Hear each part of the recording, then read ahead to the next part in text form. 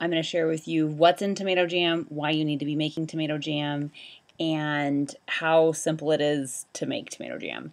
Um, I'm Jenny and I blog at the Domestic Wildflower and I share homemade foods and crafts with uh, brand new beginners. And this season is canning season, my favorite season. Um, and one recipe that I think a lot of people don't think of when they think of canning is tomato jam.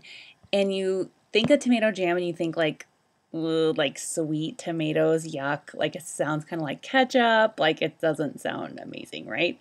Tomato jam or my tomato jam recipe is actually super delish and is very savory. And I want you to think of it more like a condiment. Um, the ingredients in my tomato jam recipe that you can get on the domestic wildflower is um, as follows. So I use Roma tomatoes, but you can use whatever tomatoes you get at the farmer's market or in the grocery store that you grow or whatever.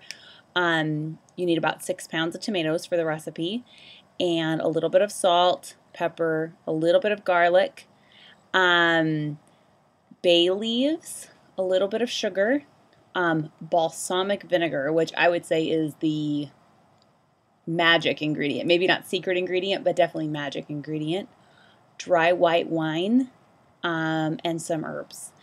And I like to make my tomato jam in a steam canner.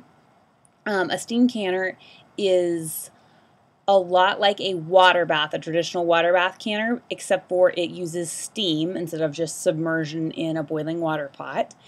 And um, what that means for you as the canner is that you are ready to can in five minutes as opposed to like 25 or 30 minutes. So they are much faster, much lighter weight, and much safer for those reasons. Um, and I have uh, many blog posts about steam canners, and in the blog post about tomato jam, I link to those blog posts and tell you a little bit more about them. But the basic process is that you prepare your tomatoes, seasonings, bay leaf, and you simmer together in a wide, heavy bottom pan for about 45 minutes, which I know takes a little while. Tomato recipes typically take a little while. Um, and then you can make it super smooth with either a food mill or an immersion blender, or just a regular blender if you wanted. Make sure you pull those bay leaves out.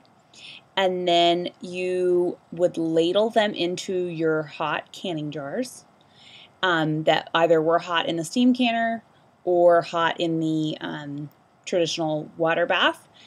And you'd put on your brand new lids and rings, and you'd put them back in the water bath or the steam canner, and you'd process for 10 minutes.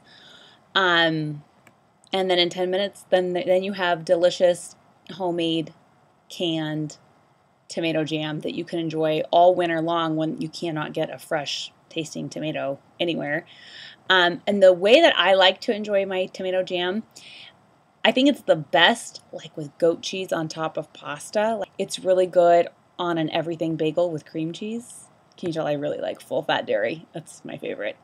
Um, and it's just is really good also on like a turkey sandwich with I don't know whatever you put on your turkey sandwiches, but it's very good on a turkey sandwich um, and it kind of just replaces that sliced tomato anywhere you would want to replace a sliced tomato, right? It's rich and savory and like salty and vinegary and delish. Just think of it in the way that you would like uh, replacing a tomato, not like a jam. Like jams like raspberries, right? That's those are delicious, but not not what this is. On the blog post on the domestic wildflower, you'll see um, one way that we made the tomato jam and served it was with fried risotto balls. And it made me think like delicious homemade like fried mozzarella cheese sticks or something would be that'd be delish. It'd be super good. So that is how you make the tomato jam, what's in the tomato jam, and why you need to be making it because it's a really delicious thing that you can enjoy all year long and it's like a really delicious pantry staple that's so much better than something you could buy in the store. So again, you can grab the recipe on the domestic wildflower and I'll link it where I can link it here. Um, but if you have any questions, please send them my way and we'll be sharing more recipes soon.